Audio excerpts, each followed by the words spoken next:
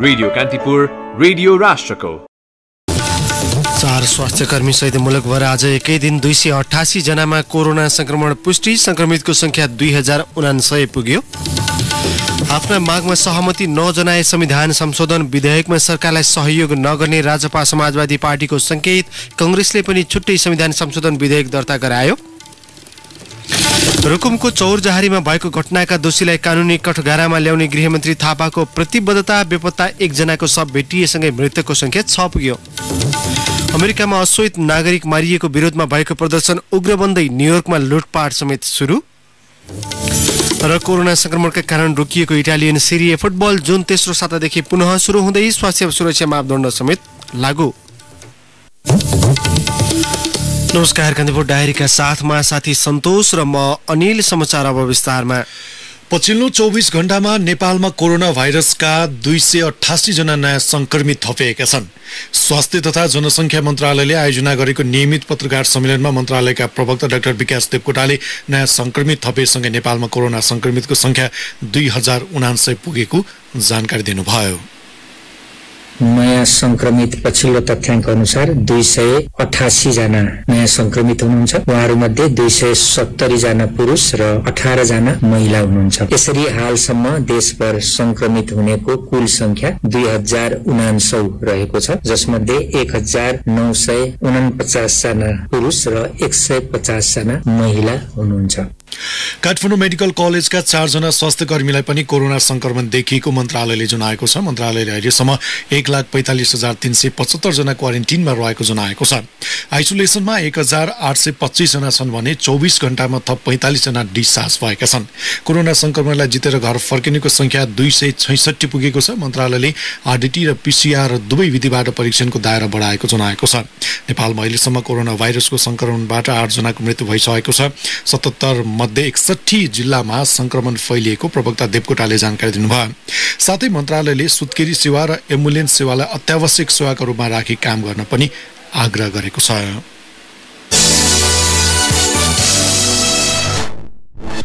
मुलुकको नक्सालाई अध्यावधि गरेपछि निशान छापमा रहेको नक्सा परिमार्जन गर्न सरकारले ल्याएको संविधान संशोधन विधेयकलाई काउन्टर दिने गरी मधेस केन्द्रित दलहरू राष्ट्रिय जनता पार्टी र समाजवादीले संसद सचिवालयमा गैर सरकारी विधेयक दर्ता गरेका छन्।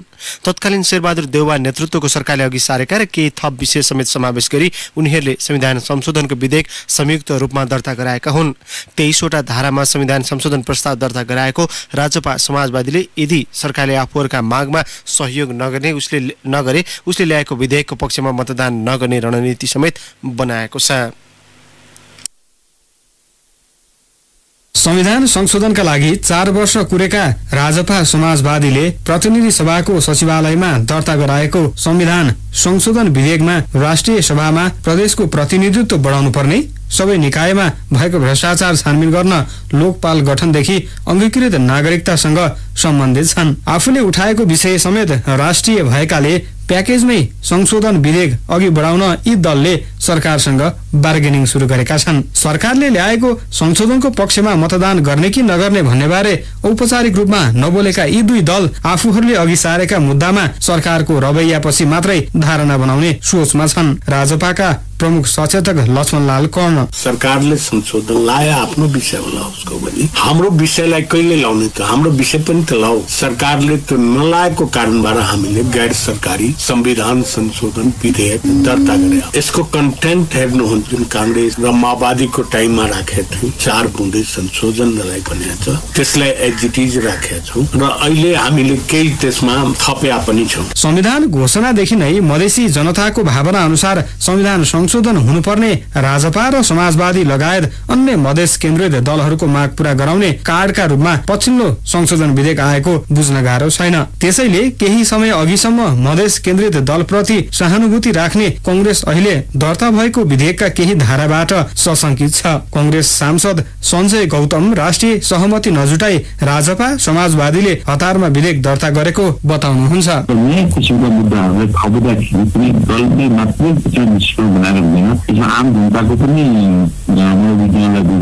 राष्ट्रिय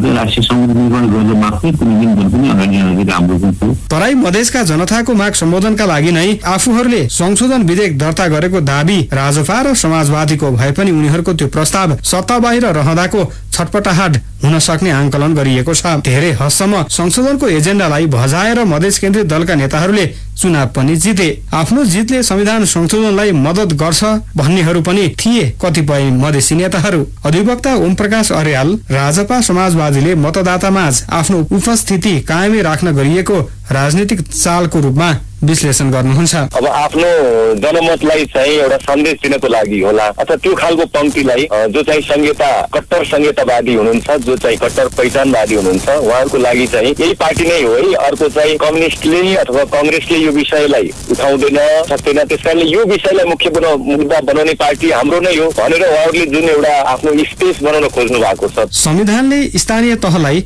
छुट्टै संवैधानिक अस्तित्व दिए पनि अब प्रदेश कानून मातहत हुने प्रस्तावदेखि संविधान जारी हुँदा तत्कालीन मधेस केन्द्रित दलले मुख्य चासोका रूपमा उठाएको सिमाना फेरबदल सम्बन्धी मुद्दा समेत संशोधनमा परेका छन्। यस्तै संवैधानिक विवाद निरूपणका लागि छुट्टै संवैधानिक अदालत गठनको मागसँगै राजपा समाजवादीले संविधानको धारा अठाइस तीन क थप गरेर लोकपालको गठन गर्ने र त्यसलाई सबै अख्तियारमा भएको भ्रष्टाचार समेत छानबिन गर्न सक्ने अधिकार दिनुपर्ने प्रस्ताव गरेको छ। पुनः लक्ष्मण लाल कर्ण। हामीले एउटा लोकपालको व्यवस्था गर। जसले कि प्रधानमन्त्री मन्त्री उच्च पदस्थ निकायका व्यक्तिहरू र स्वयं अख्तियार दुरुपयोग लगायतका सम्पूर्ण संवैधानिक निकायमा भएको भ्रष्टाचार जन्य कामलाई हेर्ने। तर अधिवक्ता ओम प्रकाश अर्याल लोकपाल गठनको मुद्दालाई राजनीतिक प्रोपोगण्डाको संज्ञा दिनुहुन्छ। अब जुन लोकपाल छ लोकपालको कुरा त सर्वथा चाहिँ अनुपयुक्त कुरा हो। उहाँहरूले चाहिँ अख्तियार दुरुपयोग अनुसन्धान आयोग पनि गरिरहने त्यो सँगसँगै फेरि लोकपाल पनि खोज्ने जुन कुरा गरिरहनु भएको छ यो चाहिँ एकदमै अनुपयुक्त कुरा हो यसमा त मैले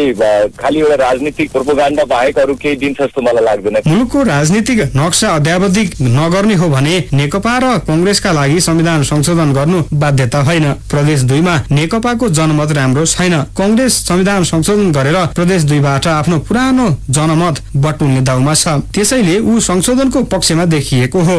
विरोध गर्ने च्यात्ने र जलाउने गरेको संविधान अनुसार भएको चुनावमा जित हासिल गरेर मन्त्री परिषदमा सहभागी भएकाहरू आज फेरि त्यही संविधानलाई मान्दिन संशोधन गर्नुहोस् भन्ने नैतिक धरातलमा कतिको बलियोसँग उभिएका छन् भन्ने जाँच्ने समय आएको छ। सिधा शब्दमा भन्ने हो भने राष्ट्रिय सहमति बनेको मुलुकको नक्सा अध्यावधिक गर्ने विषयसँग संशोधनको अन्य बुदा घुसाउन खोज्नु राजपा समाजवादीको यो सरकारसँगको गुर्की नै हो। राष्ट्रिय एकतालाई प्रभावित पार्न खोज्नेहरू संविधान संशोधनको यो प्रक्रियासँगै किनारामा पर्ने निश्चित छ। रेडियो कान्तिपुरका लागि प्रिन्स गौतम।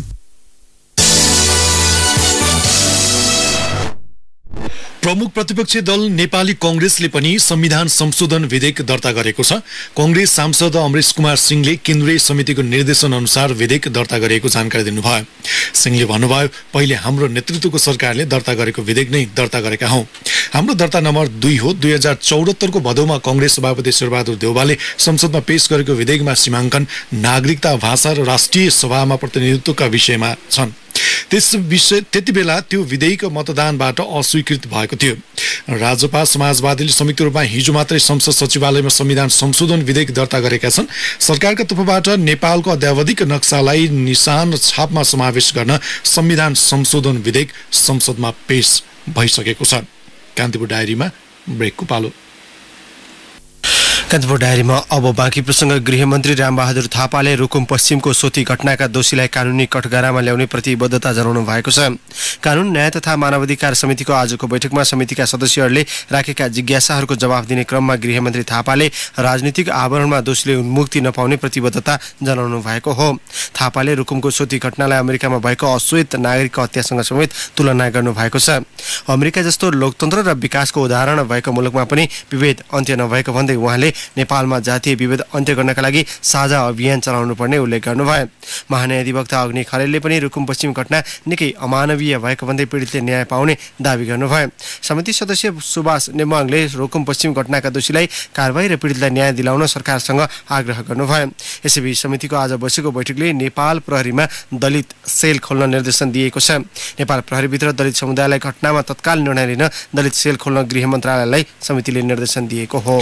यसैबीच गत जेठ दस गते रुकुम पश्चिमको चौरजहारी नगरपालिका आठ सोतीमा भएको घटनामा ज्यान गुमाउनेको संख्या छ पुगेको छ। भेरी नगरपालिका चारका वर्ष सत्रका गोविन्द साईको शव बेपत्ता भएको दस दिनपछि भेरी नगरपालिका बाह्र खोदा खोला जाजरकोट भन्ने स्थानमा आज भेटिएसँगै मृतकको संख्या छ पुगेको हो। यसै घटनामा परेर ज्यान गुमाएका भेरी नगरपालिका चार राणा गाउँका एक्काइस वर्षका नवराज विकट सोही ठाउँका उन्नाइस वर्षका गणेश बुढा र सन्जु विक चौरझारी नगरपालिका एकका बिस वर्षीय टिकाराम नेपाली भेरी नगरपालिका एघारका अठार वर्षीय लोकेन्द्र सुनारको शव यसअघि नै फेला परिसकेको छ। पहिलो पटक शव भेटिएका साई बाहेक अन्य पछिल्लो पटक सब भेटिएका साई बाहेक अन्य पाँचजनाको पोस्टमार्टम भएर पनि आफन्तले सब बुझेर अन्त्येष्टि समेत गरिसकेका छन्।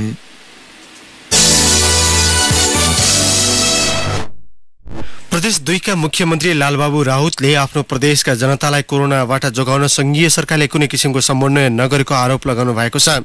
श्रम रोजगार पत्रकार समूहद्वारा आज आयोजित छलफलमा मुख्यमन्त्री राउतले ठूलो महामारीका समयमा पनि केन्द्रबाट कुनै समन्वय नभएको गुनासो गर्नुभयो। उहाँले भन्नुभयो संसदमा भाषण गरेर मात्रै सुधार हुँदैन। मैले प्रोटोकल बिर्सेर जनताका लागि आफैले संघीय सरकारका मन्त्रीहरू खोज्दै हिँड्नु परेको छ। स्वास्थ्य सचिव डिजीले आफैले फोन गर्नुपर्छ। सङ्घले अहिलेसम्म प्रदेशसँग समन्वय गरेको छैन। मुख्यमन्त्री राउतले कोरोना भाइरसबाट जनतालाई जोगाउन सङ्घ र प्रदेश सरकारका प्रतिनिधि रहने संयुक्त टोली बनाउनु पर्नेमा जोड दिनुभयो। उहाँले नगर र गाउँपालिकाबाट तयार गरिएको क्वारेन्टाइनको गुणस्तर निकै कमजोर रहेको भन्दै सङ्घीय सरकारले चाहिने स्वास्थ्य सामग्री पुनः न्यून रूपमा पठाएको उल्लेख गर्नुभयो। लोकसेवा आयोगले आयोगका परीक्षामा सहभागी हुन उम्मेद्वारहरूले अनिवार्य कोरोना परीक्षणको पिसिआर रिपोर्ट बुझाउनु पर्ने भएको जनाएको छ। आज जारी सूचनामा आयोगले परीक्षामा सहभागी हुन आउने उम्मेद्वारलाई कोरोना परीक्षणको रिपोर्ट अनिवार्य रूपमा पेश गर्नु भनेको छ। आयोगको हिजो बसेको बैठकले राजपत्राङ्किक प्रथम श्रेणी सहसचिव वा सो सरकको बाँकी परीक्षा लिने निर्णय गरेको थियो। आयोगले असार दुई गते सहसचिवका लागि अन्तर्वार्ता लिने कार्यक्रम सार्वजनिक गरेको छ। आयोगले सूचनामा काठमाडौँ बाहिर कार्यरत रहेका तथा लकडाउनका बेला काठमाडौँ बाहिर गएर फर्केका उम्मेद्वारले सो परीक्षामा सहभागी हुन कोरोनाको पिसिआर परीक्षण रिपोर्ट अनिवार्य बुझाउनु पर्ने उल्लेख गरेको छ।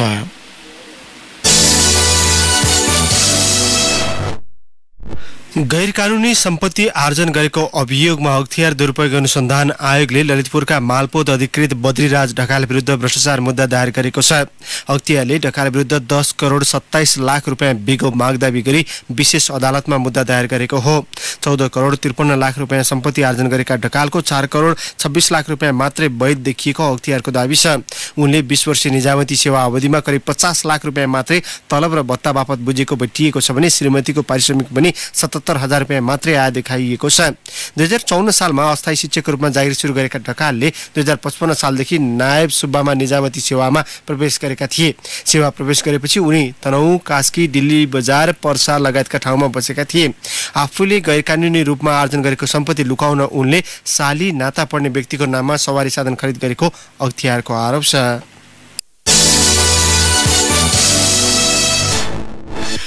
भारतले मिचेको भूमि फिर्ता गर्ने प्रक्रिया प्रतिक्रिया तत्काल सुरु गर्न माग गर्दै डाक्टर गोविन्द केसी दार्चुलामा सत्याग्रह बस्नु भएको छ।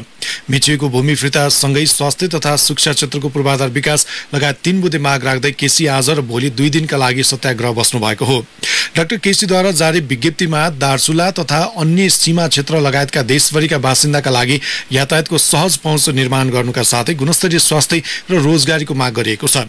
गण्डकी प्रदेश लगायत डडेलधुरा बर्दिवास उदयपुर इलाम लगायतका ठाउँमा सरकारी मेडिकल कलेज खोल्ने गेटा मेडिकल कलेजलाई तत्काल सञ्चालनमा ल्याउन तथा कर्णाली र राप्ती स्वास्थ्य विज्ञान प्रतिष्ठानमा एमबिबिएस कार्यक्रम सञ्चालनमा ल्याउनु पर्ने केसीद्वारा जारी विज्ञप्तिमा उल्लेख छ त्यस्तै शिक्षा तथा स्वास्थ्य क्षेत्रमा यसअघि आफूसँग भएका सम्झौता तत्काल कार्यान्वयन गर्न पनि डाक्टर केसीले सरकारलाई आग्रह गर्नुभएको छ।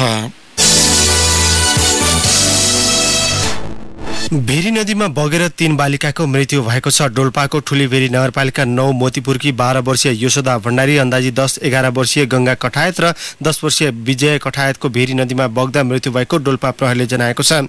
मोतीपुर स्थित भेरी नदी किनारमा गाई चराउन गएका उनीहरू नदी पारी गाई फर्काउन पसेका समयमा नदीले बगाएको जिल्ला प्रहरी कार्यालयका प्रमुख प्रहरी नायब उपरीक्षक नारायण रञ्जित कारले बताउनुभयो। काभ्रेमा ग्यास लिक भई आगलागी हुँदा जलेर घाइते दुईजनाको उपचारको क्रममा मृत्यु भएको छ। जेठ सोह्र गते बनेपा सात तरकारी बजारमा रत्नकुमार शाह ठकुरीको तीन तले घरको तेस्रो तलामा रहेको भान्सामा ग्यास लिक भई आगलागी हुँदा घाइते पाँच मध्ये सोह्र वर्षका आयुष र छब्बिस वर्षका रुकेश ठकुरीको कृतिपुर स्थित वर्ण अस्पतालमा मृत्यु भएको इलाका प्रहरी कार्यालय बनेपाका प्रहरी निरीक्षक योगेन्द्र तिमिल सिन्हाले जानकारी दिनुभयो। सोही घटनामा घाइते अठार महिने शिशु रचना ठकुरी चौबिस वर्षीय सोफी र अनिस ठकुरीको उपचार भइरहेको प्रहरीले जनाएको छ। कोरोना भाइरसको महामारी फैलिएको प्रदेश एकमा पछिल्लो समय एम्बुलेन्सको सेवा पाउन समेत कठिन हुँदै गएको छ। एम्बुलेन्सको सेवा सहज नहुँदा कोरोना भाइरस संक्रमित तथा आशंका गरिएका बिरामीलाई तत्काल अस्पताल र क्वारेन्टिन लैजान समस्या हुने गरेको छ। सुनसरीबाट सहकर्मी अर्जुन सुवेदीले पठाएको यो सामग्री। बीपी कोइराला स्वास्थ्य विज्ञान प्रतिष्ठानको आइसोलेसन वार्डमा रहेका इटरीका एक युवालाई दुई साता अघि कोरोना भाइरस संक्रमण पुष्टि भयो। ती युवालाई विराटनगर स्थित कोभिड उन्नाइस अस्पताल पठाउने तयारी गरियो तर तीन घण्टासम्म पनि एम्बुलेन्स पाइएन। त्यसको दुई दिनपछि संक्रमण पुष्टि भएकी धरान तेह्रकी एक महिलालाई पनि अस्पताल लैजान अठार घण्टासम्म एम्बुलेन्स खोज्न समय खर्चनु पर्यो। यी त प्रतिनिधिमूलक घटना मात्र हुन्। पछिल्लो समय कोरोनाका बिरामी बोक्न एम्बुलेन्स चालक समेत पन्छिने गरेका छन्। धरान वडा नम्बर तेह्रका वडा अध्यक्ष नेत्र कापले जुन गरेर स्वास्थ्य विज्ञान प्रतिष्ठानबाट पोजिटिभ जो रहनु भएको गृहसम्म आइपुग्नलाई हिँडेर आउने हो भनेदेखि पन्ध्र मिनटमा आइपुग्ने ठाउँमा अठार घन्टा एम्बुलेन्स आउने भने चाहिँ यहाँभन्दा विडम्बना के हो? धरान उपमहानगर र बिपी कोइराला स्वास्थ्य विज्ञान प्रतिष्ठानको सहकार्यमा आपतकालीन बिरामी बोक्न भनेर तीनवटा एम्बुलेन्सको व्यवस्था गरिएको छ। तर एम्बुलेन्स चालकले भने कोरोना संक्रमित व्यक्ति बोक्नै मान्दैनन्। एम्बुलेन्स चलाउन भएको असहज परिस्थिति बारे चालक उमेश दर्नाल भन्छन्। कोरोना भनेको चाहिँ अहिले संसारै प्रस्तुत भइरहेको छ। आउँछ प्रदेश एकमा विराटनगरपछि सबभन्दा धेरै एम्बुलेन्स धरानमा चल्छन्। धरानमा अडचालिसवटा एम्बुलेन्स छन् तर अहिले कोरोना भाइरसको महामारीका बेला भने सेवा दिने एम्बुलेन्स नपाउँदा बिरामीले समस्या झेल्नु परेको छ। सुनसरीका स्थानीय कृष्ण प्रसाद अब उनीहरूलाई जुनै सुरक्षाका सबै जुनै प्रत्याभूति गरेपछि भन्नुपर्ने हो सेवा गर्ने नाममा सञ्चालित एम्बुलेन्सले बिरामी बोक्न नमान्नु कानून र मानवता विपरीत पनि हो कोरोना भाइरस संक्रमण फैलिएपछि एम्बुलेन्स चालकले अरू रोगका बिरामीलाई पनि बोक्न मानेका छैनन् Nepal red cross society Sunsari अध्यक्ष उमेश थापा सुरक्षाका सब साधन उपलब्ध गराएको छौँ र स्थानीय तहसँग समन्वय गरेर स्थानीय तहले पनि उपलब्ध गराएको छ। एम्बुलेन्स चालकलाई सम्बन्धित संघ संस्थाले पर्याप्त आवश्यक स्वास्थ्य सामग्री उपलब्ध गराउनु पर्छ यसका साथै नियमनकारी निकायले नियम बनाएर एम्बुलेन्स चालकलाई बिरामी बोक्ने वातावरण सहज बनाउन सहजीकरण गर्नुपर्ने आवश्यकता देखिएको छ। रेडियो कान्तिपुरका लागि अर्जुन सुवेदी सुनसरी। सुनसरीबाट अर्जुन सु- सुवेदीले पठाएको यो सामग्रीपछि कान्तिपुर डायरीमा पुनः ब्रेकको पालो। अब आर्थिक प्रसङ्ग लकडाउनका बेला व्यापार व्यवसाय ठप्प प्राय भएको अवस्थामा कर तिर्न उर्दी जारी गर्नु सरकारको गैर जिम्मेवार कदम भएको उद्योगी व्यवसायले आरोप लगाएका छन्।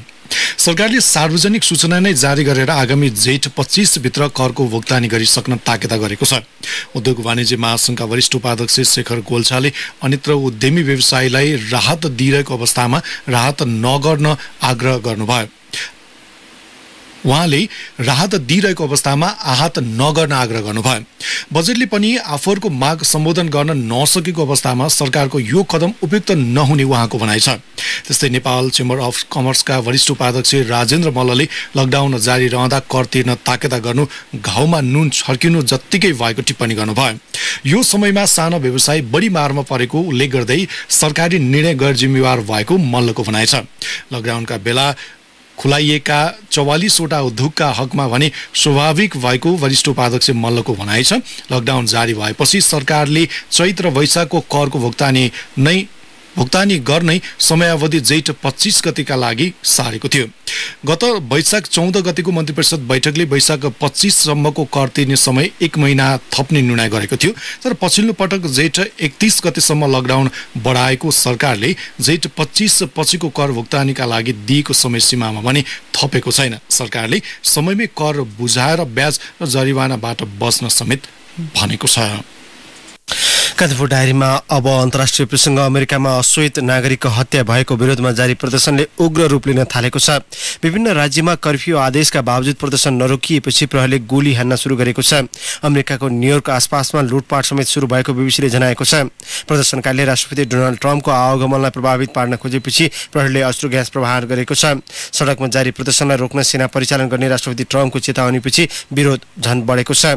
यसअघि राष्ट्रपति ट्रम्पले मुलुकमा जारी प्रदर्शन रोक्न सेना परिचालन गर्ने चेतावनी दिनुभएको थियो। अमेरिकी अफ्रिकी मूलका अश्वेत नागरिक जर्ज फ्लोइड प्रहरी कारवाहीमा मारिएपछि अमेरिकाभर विरोध प्रदर्शन जारी भएको हो। सो घटनाको विश्वव्यापी रूपमा आलोचना भइरहेको छ। अश्वेत नागरिकमाथिको हिंसा रोक्न अमेरिकालाई इरानले आग्रह गरेको छ। विश्वभर कोरोना संक्रमणका कारण मृत्यु हुनेको संख्या तीन लाख छत्तर हजार सतहत्तर पुगेको छ। अमेरिकाको जोन्स हम्किन्स विश्वविद्यालयका अनुसार हालसम्म बैसठी लाख चौरानब्बे हजार दुई सय बाइस संक्रमित भेटिएका छन्।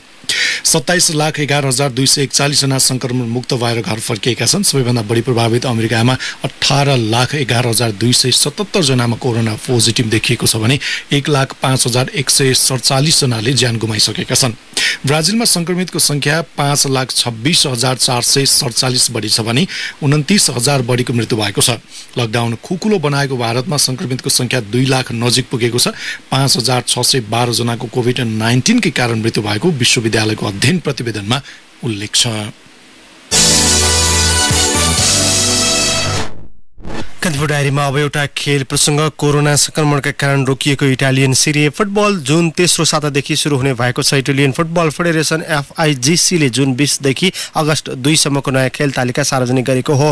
अगस्त दुईसम्मका लागि प्रत्येक दिन फुटबल खेलाउने तयारी भइरहेको एफआइजिसीले उल्लेख गरेको छ। जुलाईदेखि दशकलाई दर्शकलाई समेत मैदानमा उतार्ने गरी तयारी भइरहेको छ।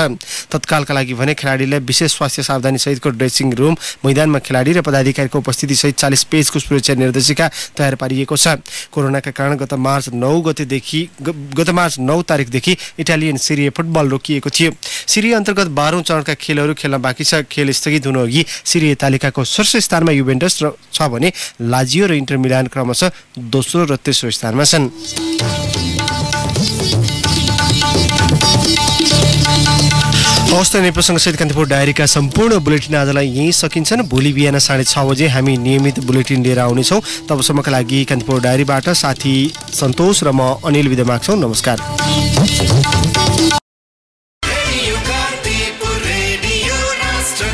सूचना र मनोरञ्जनको सम्वाहक रेडियो राष्ट्रको रेडियो कान्तिपुर।